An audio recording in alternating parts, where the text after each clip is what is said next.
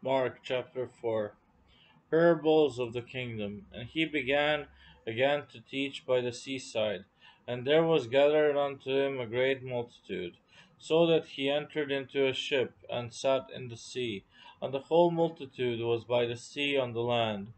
And he taught them many things by parables, and said unto them in his doctrine, Hearken, behold, there went out a sower to sow. And it came to pass, as he sowed, some fell by the ways side, and the fowls of the air came and devoured it up. And some fell on stony ground, and where it had not much earth, and immediately it sprang up, because it had no depth of earth. But when the sun was up, it was scorched, and because it had no root, it withered away.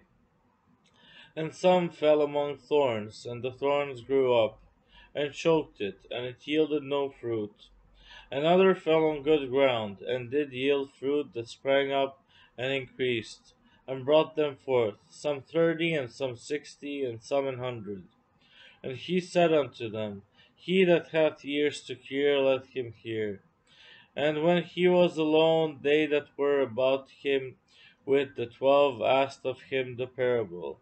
And he said unto them, Unto you it is given to know the mystery of the kingdom of God, but unto them that are without, all these things are done in parables, that seeing they may see and not perceive, and hearing they may hear and not understand, lest at any time they should be converted, and their sins should be forgiven them. And he said unto them, Know ye not this parable? And how will how then will ye know all parables? The sower soweth the word, and these are they by the wayside, where the word is sown. But when they have heard, Satan cometh immediately, and taketh away the word that was sown in their hearts. And these are they likewise which are sown on the stony ground, who, when they have heard the word, immediately receive it with gladness, and have no root in themselves, and so endure but for a time. Afterward, when affliction or persecution ariseth for the word's sake, immediately they are offended. And these are they which are sown among thorns, such as hear the word, and the cares of this world, and the deceitfulness of riches, and the lusts of other things entering in, choke the word, and it becometh unfruitful.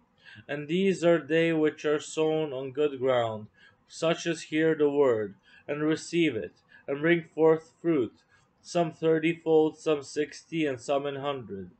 And he said unto them, Is a candle brought to be put under a bushel or under a bed, and not to be set on a candlestick?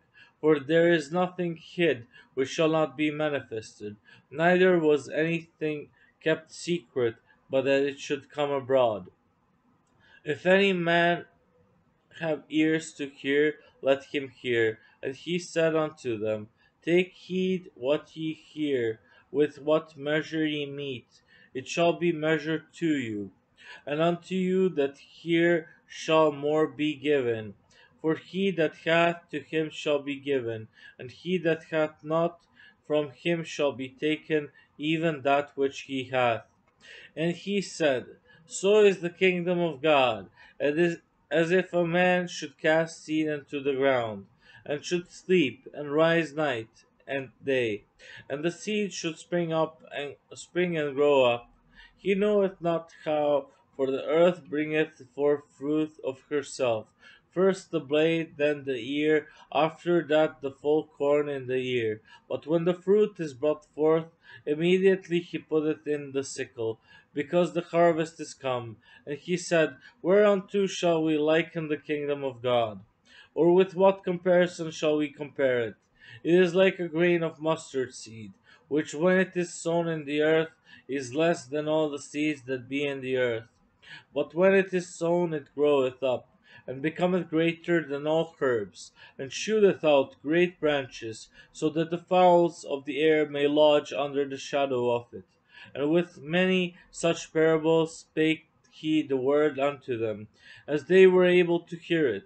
But without a parable spake he not unto them. And when they were alone, he expounded all things to his disciples.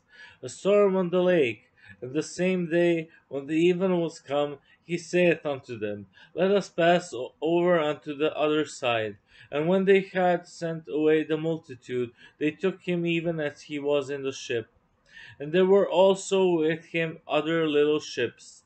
And there arose a great storm of wind, and the waves beat into the ship, so that it was now full. And he was in the hinder part of the ship, asleep on a pillow. And they awake him, and say unto him, Master, carest thou not that we perish? And he arose, and rebuked the wind, and said unto the sea, Peace, be still. And the wind ceased, and there was a great calm. And he said unto them, Why are ye so fearful? How is it that ye have no faith? And they feared exceedingly, and said one to another, What manner of man is this, that even the wind and the sea obey him?